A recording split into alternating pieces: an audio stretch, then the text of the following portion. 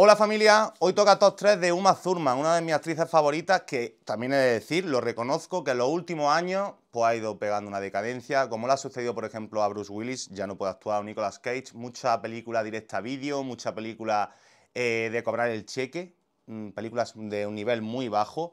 pero bueno que había que traerla al canal, ahí va mi top 3 de su filmografía. La número 3, una película que muy poca gente conoce, que cogió la cresta de la ola del silencio de los corderos, que se llama Jennifer 8, del año 1992, de Bruce Robinson, con Andy García y John Malkovich, entre otros. Bueno, un psico-killer que antes de que llegase Seven, nos presenta una ciudad también muy lluviosa, muy sórdida, una atmósfera muy opresiva, y Andy García interpreta a ese policía, a ese detective, que tiene que investigar, capturar a un asesino en serie, y la única testigo es Uma Thurman que hace de invidente, papel que me parece que a principios de los 90, cuando todavía era una imberbe chica, eh, lo borda porque no es fácil hacer de, ciega y que el tramito tan corto que aparece John Malkovich en la película, sinceramente no lo perdáis.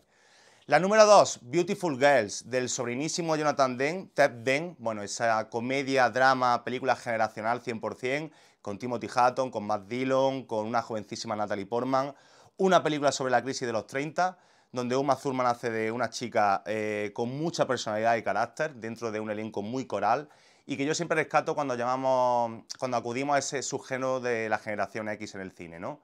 Y la número uno, mm, bueno, voy a ser poco original, a pesar de ser la fiesta para mí de John Travolta y Samuel L. Jackson, por su papel de Mia Wallace en Pulp Fiction, porque creo que a partir de que Quentin Tarantino la llamase, hubo un punto de inflexión en su carrera y nos regaló uno de los papeles más icónicos de la historia del cine.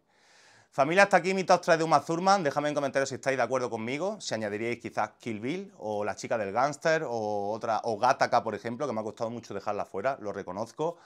Eh, dejadme en comentarios qué todos queréis que haga, que yo lo hago encantadísimo. Suscribiros al canal que es gratuito y nos ayudáis a crecer. Activad la campanita, darme like y nos vemos en el siguiente vídeo. Chao, chao.